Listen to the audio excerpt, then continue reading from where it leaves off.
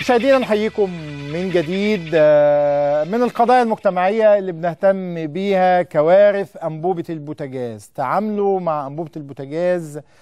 طبعا عدد كبير من المحافظات والأحياء الشعبية لم يتم تعميم الغاز يعني مع أنه حتى الغاز فيه مشاكل لكن أنبوبة البوتاجاز هي قنبلة موقوتة. ودايما نقول للناس تأكدوا كويس جدا من كل الضوابط والضمانات المتعلقة بالأنبوبة وحتى الناس حتى قبل ما تنام ننصحهم دايما نبص على أنبوبة البوتاجاز وبص على البوتاجاز. بعض الكوارث اللي بتحصل بسبب يعني الناس ممكن تقول يعني هي هي هي دي القضاء آه قضايا تؤدي زي ما هتشوفوا ده نموذج بس يعني.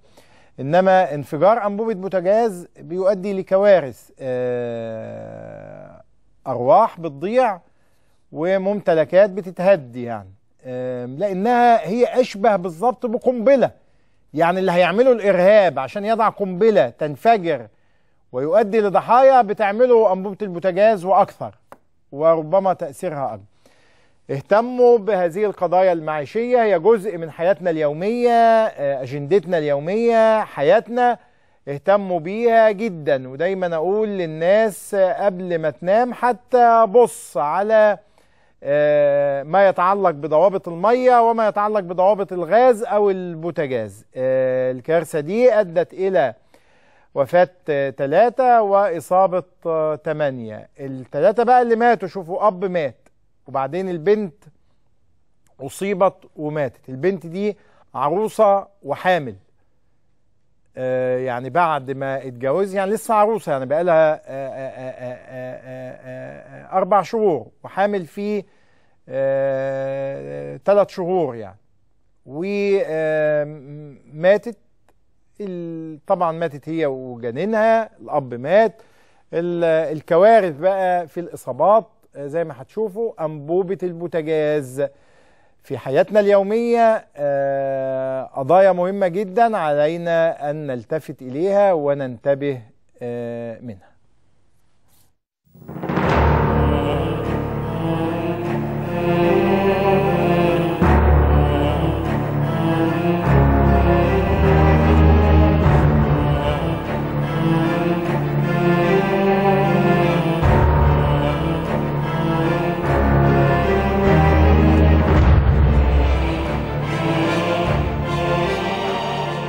اندلع حريق بعقار سكني بمنطقة حلوان بعد انفجار أسطوانة بوتاجاز متسببا بإصابة عدد من السكان تم نقلهم لمستشفى قصر العيني لتلقي العلاج وتوفي ثلاثة منهم متأثرين بجراحهم.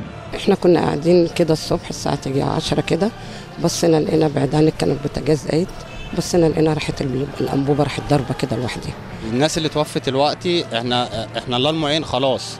دي حاجة عدت. إحنا عايزين الناس اللي في المستشفيات. البيت دوت كده كله في أس... يعني كل اللي فيه أسرة واحدة ما عدا واحدة بس ست لوحديها الست اللي انت سجلت معاها قبلية دي هي دي اللي قاعدة لوحديها. لكن البيت ده كله كده بيت عيلة. وفي ناس تحت راجل برضه غلبان على قد حاله قاعد في أوضة قاعد في أوضة معاه ولدين ومعاه مش عارف بتاع أربع بنات.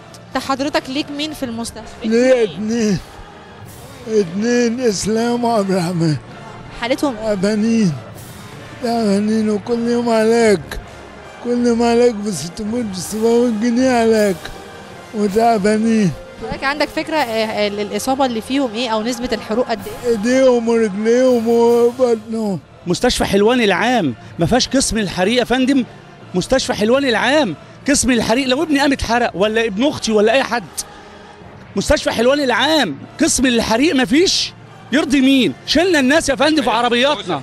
شلنا الناس يا فندم في عربياتنا يا فندم. أهالي حلوان تطلع ثلاث أيام ورا بعض كل يوم بندفن. أربع ساعات الاسعاف ما جات لهمش. طب يعملوا إيه يعني؟ ماتوا. ما هو ماتوا. ماتت أسماء عروسة. عروسة أربع أشهر ماتت. هي كانت حامل؟ كانت حامل. حامل في ثلاث أشهر. ما ينفعش كده. اللي هي بص عروسة ميتة بقى لها ثلاث أشهر. وعريس امبارح.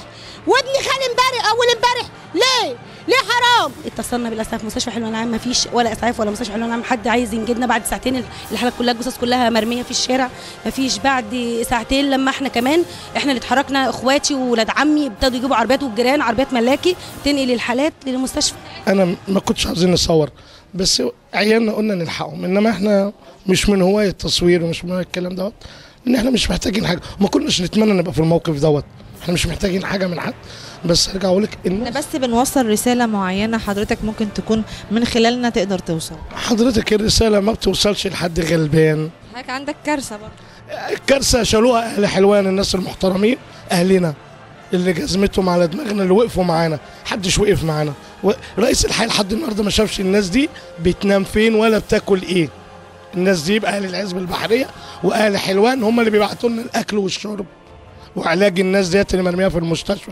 وده جميل طبعا وما يعتبرش جميل لأنهم هم أهلنا. حضرتك عندك قد إيه آه، إخوات؟ ومين اللي منهم اتوفى ومين اللي منهم لسه في المستشفى؟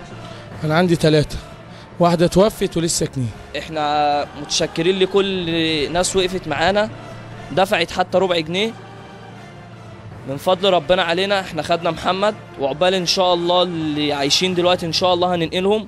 إن شاء الله بمساعدة الناس بتاعت حلوان كلهم. خدناهم وديناهم مستشفى الحلمية العسكري. والعريس ربنا افتكره امبارح. وأبوه قاعد برضه بيموت. والتاني أخته ماتت. هنستنى إيه تاني؟ هنستنى إيه تاني؟ لما بقطع على اخويا الجبس اللي مرمي فيه أنا مش عارف أعمل له حاجة. مستني إيه تاني لما كنت بمشي في كل شارع هو اللي معايا فيه. كان بيكلمني في التليفون قبل الحادثة.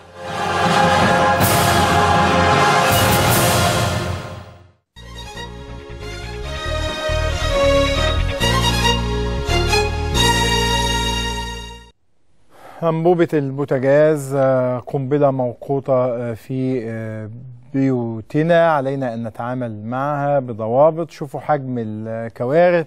أب بنته وبنته لسه عروسة. بجنينها آه، بعدد كبير من المصابين يعني كوارث مختلفة يعني. آه،